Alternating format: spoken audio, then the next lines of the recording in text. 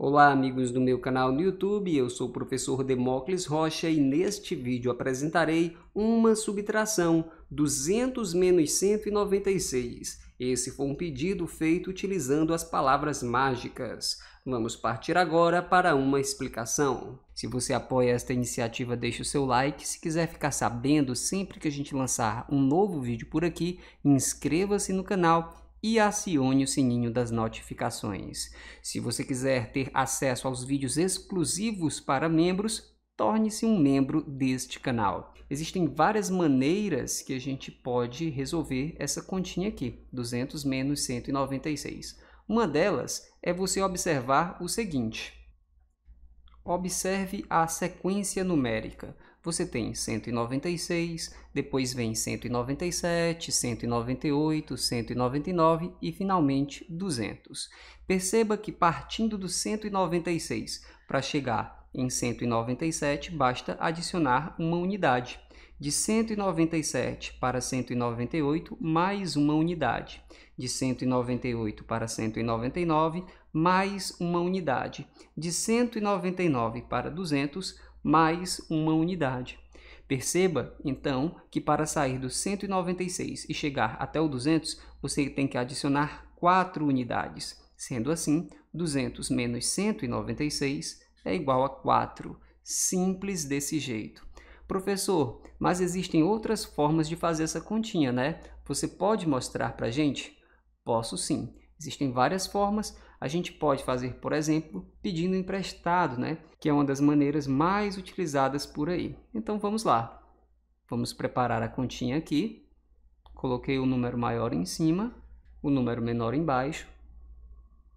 E vamos lá fazer a subtração utilizando a técnica de pedir emprestado de onde tem zero a gente não tira 6, tenta pedir emprestado do vizinho, só que aqui temos zero também, então a gente tenta pedir emprestado do outro vizinho, aqui temos dois. Vou tirar um daqui, que tem dois, eu tiro um, fica um. O 1 que eu retirei daqui vale 10 na ordem anterior, como aqui tem zero, ficaria 10, né? Só que eu só vou deixar 9 aqui, e vou tirar um daqui também, e vou trazer para a ordem anterior, ficando aqui com 10, porque o 1 de uma ordem vale 10 na ordem anterior. Isso significa que a gente pode entender o número 200 como sendo 190 e mais 10 unidades, é ou não é? A gente escreve o um número assim só para ficar conveniente para fazer a subtração. Veja só, 10 tira 6 fica 4, 9 tira 9 fica 0, 1 tira 1 fica 0. Como à esquerda do 4 iriam aparecer dois zeros, e os zeros à esquerda podem ser ignorados, a gente fica apenas com 4 que é a nossa resposta. Outra forma que eu acho muito legal de fazer essa subtração é trabalhar da seguinte maneira. Como 200 termina em 00, a gente pode utilizar essa técnica que é muito legal. Veja só, a gente pega o antecessor do 200. Qual é o número que vem antes do 200? É o 199. E a gente pega o antecessor do 196 aqui. Quem é que vem antes do 196? É o 196 e 95. Aí a gente vai fazer essa outra subtração aqui. Como a gente pegou o antecessor do minuendo e o antecessor do subtraendo, a diferença entre esses dois números aqui vai ser a mesma diferença entre esses dois números aqui originais. Só que essa subtração é mais fácil de fazer. 9 tira 5 fica 4, 9 tira 9 fica 0, 1 tira 1 fica 0, então seria 004, que é o mesmo que só 4. Então está aí a subtração feita também.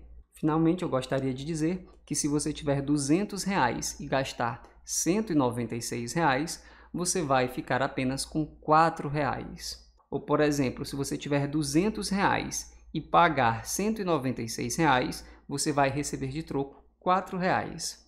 Está na hora de dizer que este vídeo, simples como ele é, foi feito de coração para te ajudar. Se ele ajudou, você pode deixar um comentário com uma carinha sorrindo, eu vou gostar de ver.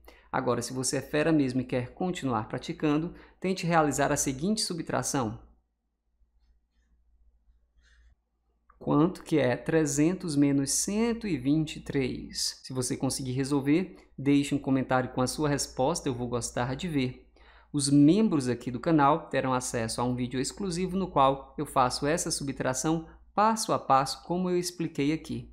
A gente fica por aqui, um abraço e até a próxima. Tchau!